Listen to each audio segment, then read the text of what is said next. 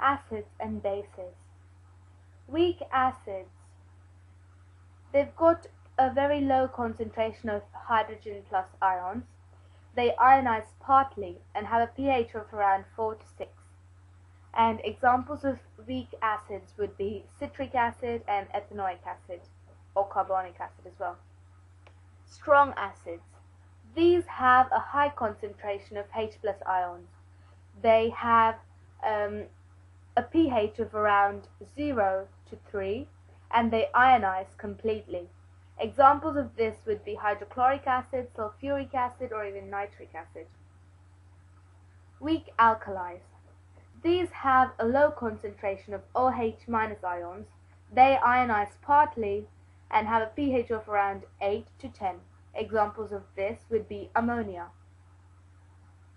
Strong alkalis. These have a pH of around 11 to 14 and they ionize completely and um, and have a high concentration of OH minus ions.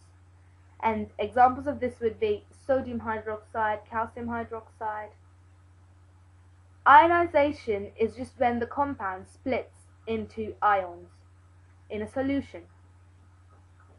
While comparing the strengths of acids and alkalis, you have to make sure that your concentration or the molarity is the same between both the acid and the alkali.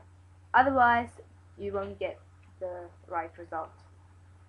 Neutralization is just when you add an acid and a base to get a salt and water. So basically, acid plus base gives you salt and water. That is neutralization. Alkali. Alkalis are a type of base which is soluble in water. Bases are just anything that um, neutralize an acid, but alkalis are specific, they're a type of base and they are soluble.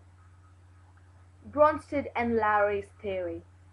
This is based on Arrhenius' theory, and um, they say that acids are proton donors, where the protons are actually the H plus ions, and alkalis are proton acceptors, or bases are proton acceptors, and the protons are H plus, you know, ions. And Bronsted and Lowry's theory was easily accepted compared to Arrhenius's because Bronsted and Lowry built their idea from the previous Arrhenius one. And Bronsted and Lowry also kind of, at the time that they uh, came up with this, um, the society was also more aware of um, ionization and so on. But um, Arrhenius's um, time wasn't really aware of these things, and he was very intelligent, but he wasn't recognized for it until later. Hydration. Hydration is when H plus ions are surrounded by water molecules to keep them inside the solution.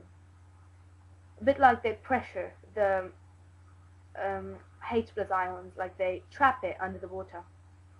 And a hydrated proton would have the symbol H plus and in brackets AQ, which stands for aqueous or in a solution. In solutions, acids ionize into H plus ions and alkalis ionize into OH minus ions. Titration reaction. Titration is used to determine the pH or the molarity of a substance. It is also used to find the volumes of solutions that react together completely. I will repeat it again. Titrations are used to determine the pH or the molarity of a substance. And they're also used to find the volumes of substances in a solution that react completely. The equipment you would need to do a titration reaction would be a burette, a volumetric pipette, a conical flask, and a beaker. First of all, you use the pipette to accurately measure a certain volume of the alkali and pour it into the conical flask. then you add an appropriate indicator. If you do not add the indicator, then you really won't be able to do this reaction. The indicator is very, very vital.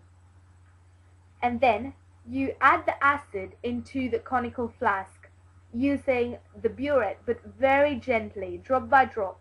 But you do have to um, make sure you note down the start point and um, when the solution in the flask changes color, the endpoint is reached. So you quickly turn off your burette and you note the endpoint point and you calculate the amount or the volume of water, I mean, sorry, the volume of the acid which you've used.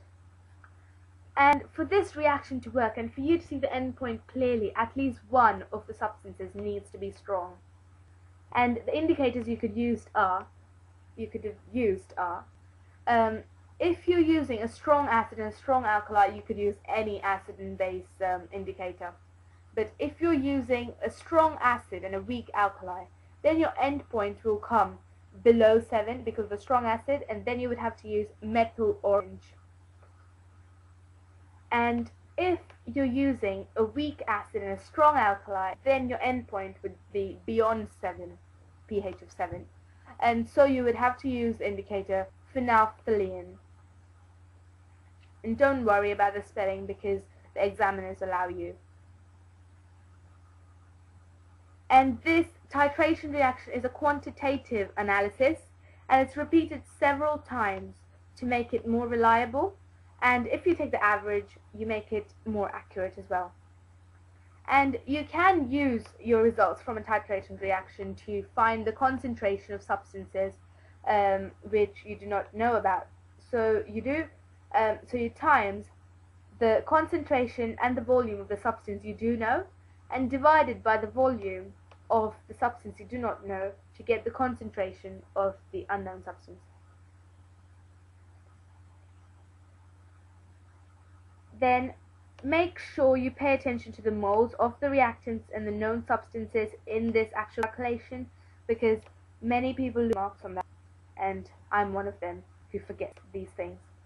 In the calculations, this um, piece of chemistry 3 requires you to know are mass equals Mr. Mole, easy to remember, Cathy.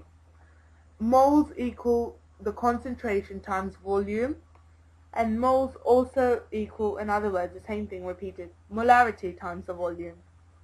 And to change moles per decimeter cubed into grams per decimeter cubed, you've got to times moles per decimeter cubed by the MR of the chemical. Remember this, 1 decimeter cubed equals 1000 centimeter cubed. And that is a very important information and that's acid and bases done.